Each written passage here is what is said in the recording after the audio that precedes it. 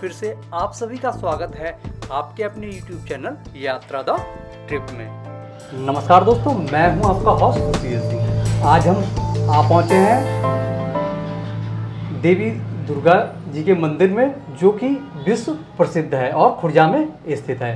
वैसे तो हम किसी भी टेंपल में जाएँगे, दर्शन करेंगे, दर्शन करके निकल जाएँगे, लेकिन जब तक हमें उस टेंपल के बारे में संपूर्ण ज्ञान ना हो, जैसे कि कैसे बनाया, किन्होंने बनाया, क्यों बनाया ये सब जानकारियाँ जब हमें मिल जाती हैं तो उस मंदिर के दर्शन करने में एक अलग ही आनंद की अनुभूति होती है। इन्हीं सभी चीज़ों की जानकारी के लिए आज हमारे साथ उपस्थित हैं श्री रोहित अग्रवाल जी, जो कि इस मंदिर को ट्रस्ट संचालित करता है, उसके संयोजक हैं और वर्तमान में सभी कार्य इन्हीं के द्वारा देखे जा रहे हैं। पहले इनके पिताश्री ने इस मंदिर में काफ़ी कुछ अपना योगदान दिया। उन्हीं की वजह से इस मंदिर का जीर्णोद्धार हो पाया। बाकी सारी जानकारी हम रोहित जी से प्राप्त करते हैं। नमस्कार। रोहित जी तो हमने इस मंदिर को बनाने के लिए कैसे शुरुआत की गई? मेरे फादर डॉक्टर थे जी। और 1990 में ये समिति की स्थापना की गई थी। नवदुर्गा समिति खुर्जा। जी। और तभी उन्हें स्वप्न आया था वो माता रानी के भक्त थे जी। कि माता रानी ने उनसे कहा था कि मैं खुर्जा में स्वयं स्थापित होना चाहती हूँ उसकी तैयारी करो। जिसके फलस्वरूप 90 में समिति बनाकर सारी प्रक्रिया आरंभ की गई और एक ऐसी मूर्ति की स्थापना की प्रेरणा मिली जिसमें देवी माँ के नौ रूप एक ही मूर्ति में दिखाई देते। उसके लिए न्यूज़पेपर्स में ऐड दिया गया पूरे इंडिया में बहुत सारे मूर्तिकार अपने मॉडल्स बना के लाए। जी। और उसमें से एक मॉडल पास हुआ लखनऊ के मूर्तिकार थे सुनील कुमार प्रजापति। जी। उस मॉडल को फाइनल करके फिर वो मूर्ति बनाई गई। 92 में मंदिर का निर्माण प्रारंभ हुआ था। जी। और 95 फरवरी में मूर्ति की स्थापना लगभग तीन वर्षों के प्रयास में जी, जी, मंदिर बन पाया। प्रयास तो हुए थे 90 से। नब्बे से। लेकिन जो मुख्य कार्य प्रारंभ हुआ था वो 92 में हुआ था। तो और उसके बाद तीन साल पूरे लग गए मंदिर को बनने। जी। खुर्जा वाली माता के नाम से इस मंदिर को जाना जाता है। जी। उसके पीछे भी कुछ जी बिल्कुल। जब मंदिर का प्राण प्रतिष्ठा महोत्सव बनाया गया था तो लगभग 15-20 दिन वो कार्यक्रम चला था। जी। उसमें हुआ था सहस्त्र चंडी महायज्ञ। जी। उस दौरान बहुत इंडिया के लगभग बहुत जाने माने संत शंकराचार्य यहाँ उपस्थित हुए थे। उन्हीं में से थे श्री कपिलेश्वर सरस्वती जी। वो मूर्ति प्रतिष्ठा के कार्यक्रम में उपस्थित हुए थे और उन्होंने ही मंदिर के प्रांगण में बैठ के घोषणा की थी कि मैं देख पा रहा हूँ कि आने वाले समय में ये नगर ये मंदिर खुर्जा वाली मैया के नाम से जाना जाएगा तो इसका मतलब साहब कि जो शंकराचार्य जी के श्रीमुख से जो बात हाँ, निकली जो आज की डेट में बिल्कुल सत्य साबित हुई बिल्कुल आसपास के क्षेत्र में हमारा मंदिर खुर्जा वाली मैया के नाम से प्रसिद्ध है जी। जी। और उसी के जयकारे लगते रहते हैं पूरे दिन जब भीड़ होती है। जी। अच्छा अ, मैं ये देख पा रहा हूँ गोपाल जी कि माता जी की जो मूर्ति है वो फ़र्स्ट फ्लोर पे प्रतिष्ठित है। जी।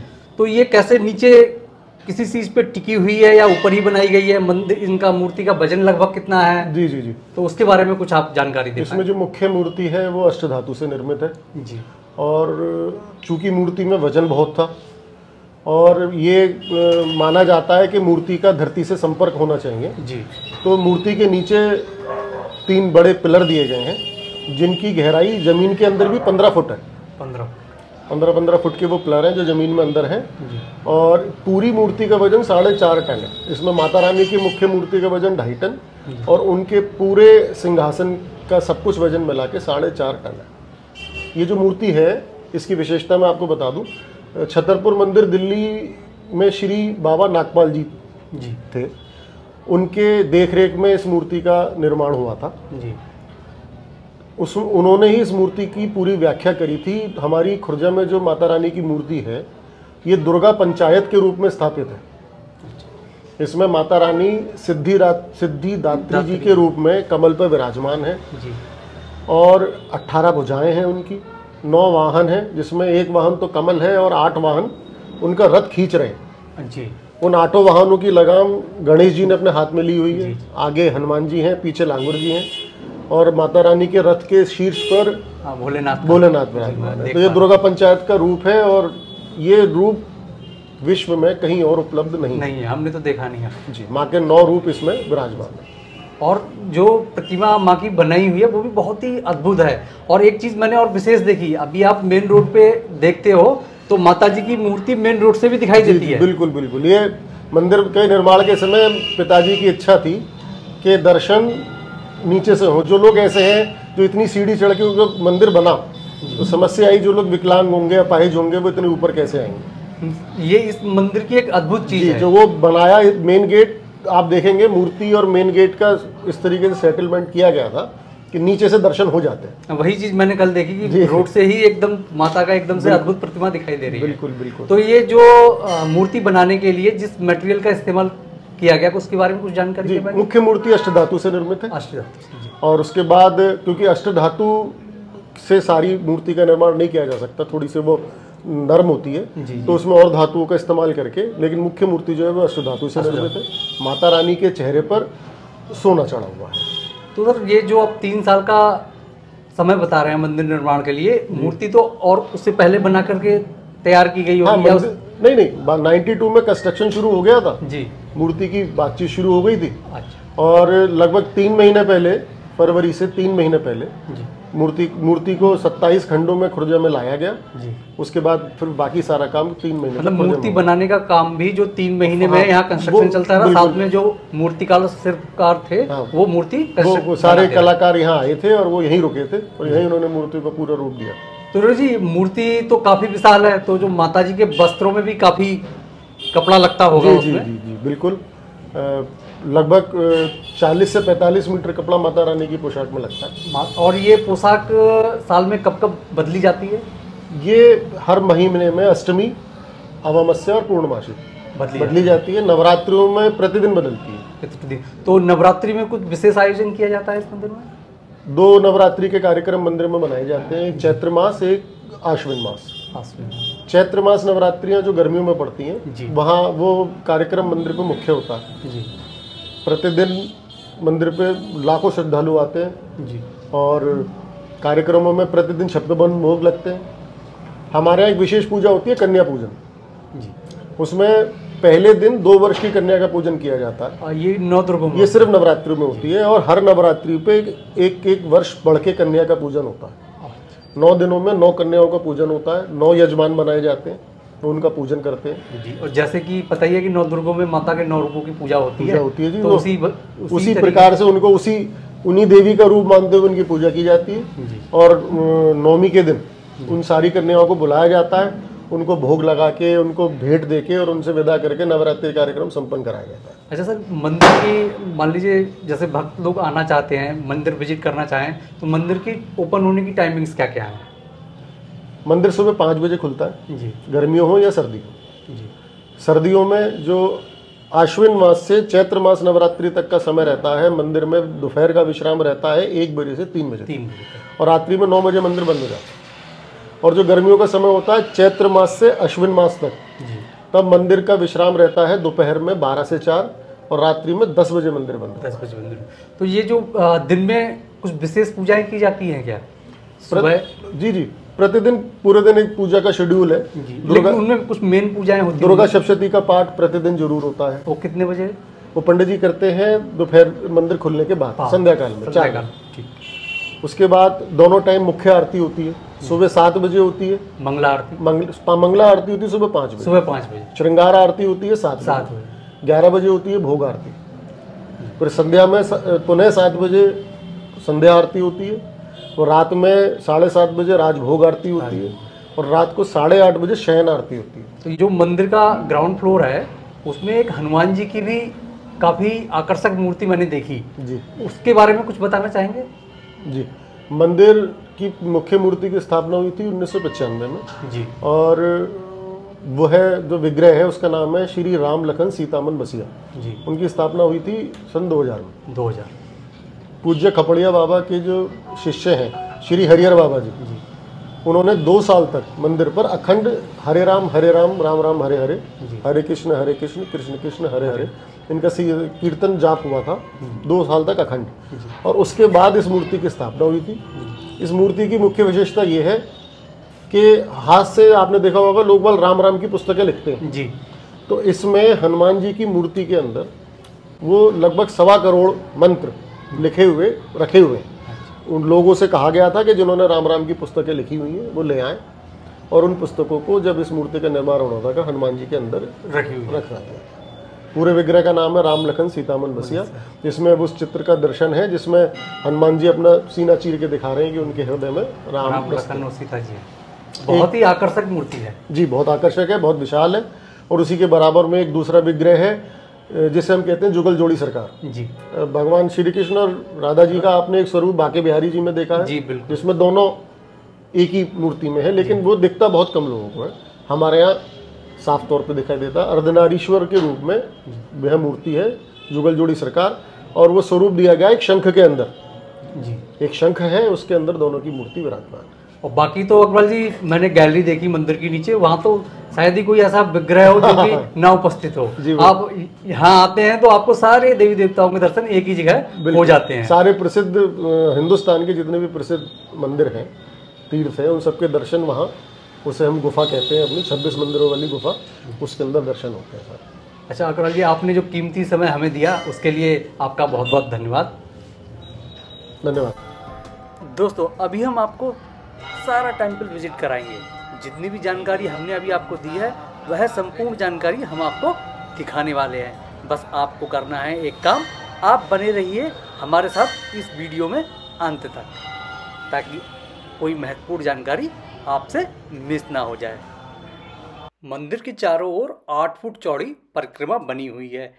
108 परिक्रमा की किलोमीटर में लंबाई गोवर्धन की परिक्रमा के बराबर लगभग 22 किलोमीटर बैठती है।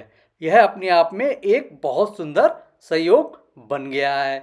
इस मंदिर की यह भी मान्यता है कि जो भी श्रद्धालु इस मंदिर की 108 परिक्रमा करता है तो उसकी सभी मुरादें माता रानी पूरी करती हैं।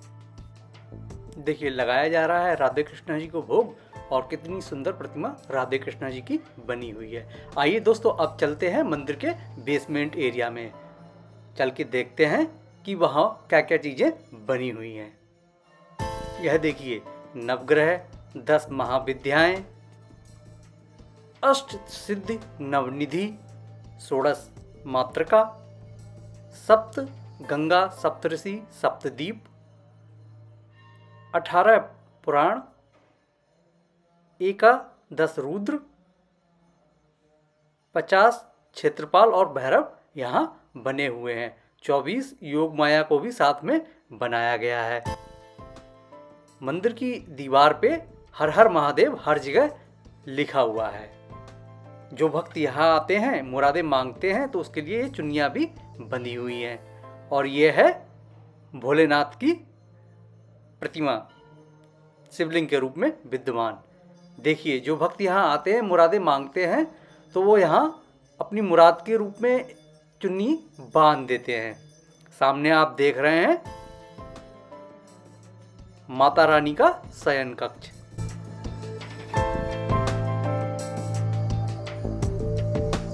यह है माता रानी का शयन कक्ष। और अब हम आगे बढ़ते हैं, चलते हैं बाई तरफ़। यह है श्री राम लखन सीता मन बसिया की प्रतिमा, जिसका ज़िक्र रोहित अग्रवाल जी ने किया था। सामने बैठे हुए हैं। भक्त और कर रहे हैं हरे राम, हरे कृष्ण का जाप। यह है हनुमान जी की प्रतिमा, जिसके अंदर बने हुए हैं राम, लक्ष्मण और सीता जी। साथ ही बनी हुई है जुगल किशोर जी की प्रतिमा।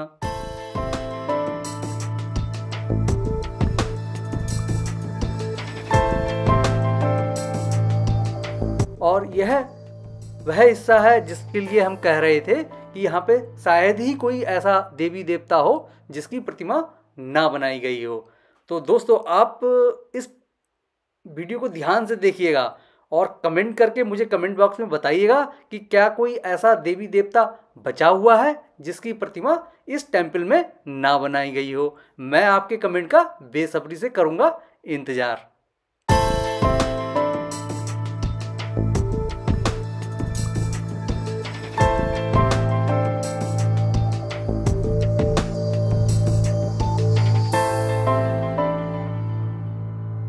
दोस्तों, इस टेंपल के बारे में मैं और एक विशेष बात आपको बताना चाहूँगा। इस टेंपल के ट्रस्ट ने खुर्जा वाली मैया की रसोई नाम से एक योजना शुरू की है। इस योजना के तहत गरीब और ज़रूरतमंदों को मात्र पाँच रुपये में भोजन खिलाया जाता है, जो कि मुझको बहुत एक अच्छा इस टेंपल का इनिशिएटिव लगा। दोस्तों, आप देखते रहिए वीडियो और देखते रहिए इस सेक्शन को ध्यान से कि कौन कौन से देवी देवता यहाँ पे स्थापित किए गए हैं और कौन से देवी देवता बचे हुए हैं जो कि यहाँ पे नहीं हैं। आप मुझे कमेंट सेक्शन में जाके ज़रूर बताइएगा।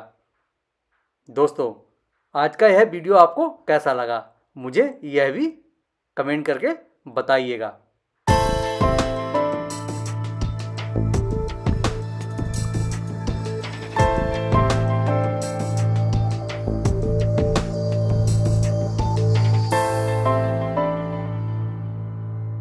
दोस्तों, चैनल पे अगर आप नए हैं तो कर लीजिएगा सब्सक्राइब, वीडियो को कर दीजिएगा लाइक और शेयर अगर आपको अच्छी लगती है तो।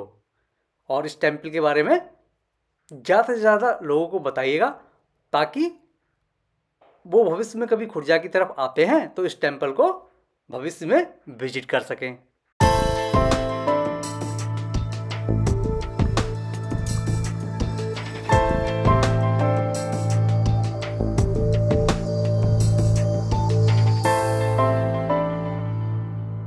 अगर आप ये टेंपल विज़िट कर चुके हैं तो आप अपने एक्सपीरियंसेस मेरे साथ शेयर भी कर सकते हैं। आप इंस्टाग्राम या फेसबुक या फिर यूट्यूब कमेंट बॉक्स में अपने क्वेश्चंस भी हमसे पूछ सकते हैं।